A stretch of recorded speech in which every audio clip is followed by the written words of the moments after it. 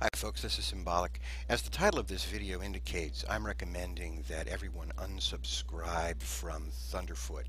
Uh, since he produced his South Park versus Islam video, it's, uh, it's become clear to me that he supports and advocates, actively advocates genocide and also prejudice. Uh, for um, almost a week now, uh, his followers have been leaving highly prejudicial and ugly comments on DawahFilms web uh, channel page and uh, on uh, videos that those of others of us uh, have made to oppose uh, and counter Thunderfoot's ideas. Thunderfoot has said nothing about this. He's just allowed it to go on. So that is a tacit, tacit condoning of, prejudice. Um, I believe that to remain subscribed to Thunderfoot at this point indicates that one subscribes to genocide and prejudice. So it's important that people unsubscribe. Uh, it's clear that his arrogance has completely run away with him, and uh, I can only assume that one of the sources of his arrogance is uh, his large subscriber base.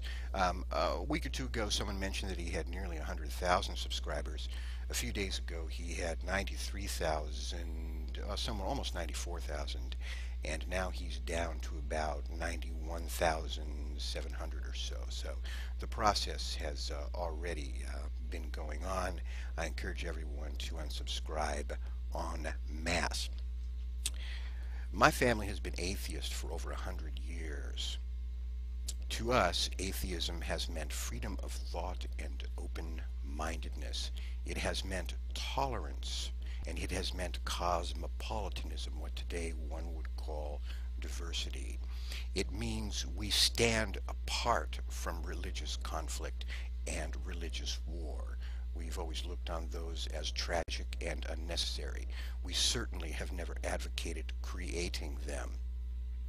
Science for us taught us how small mankind really is. It's a humbling thing to realize the vastness of the universe and the beauty of the universe and the mystery of the universe. Science teaches us that we are not the center of the universe. We should not be arrogant and megalomaniacal. The more we know, the more we learn, the more we discover that we almost we know nothing at all. Um, so I, I want to ask my fellow atheists, what kind of atheist are you? Are you an atheist who believes in genocide and prejudice and arrogance, or are you an, an atheist who believes in open-mindedness, free thought, and the free exchange of ideas? Do you support religious conflict, religious war? Do you want to create one? Or do you want to stand apart from religious conflict and religious war? What type of atheist are you?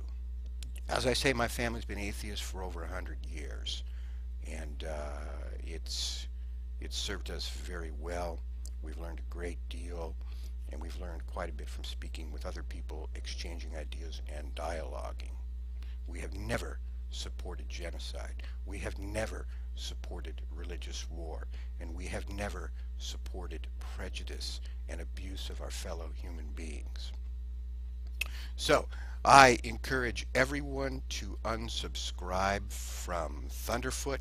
I know of no other way to uh, to uh, oh, sort of bring down his arrogance at this point. I think the YouTube community needs to send a message saying we do not support genocide and we do not support prejudice and we will not support it.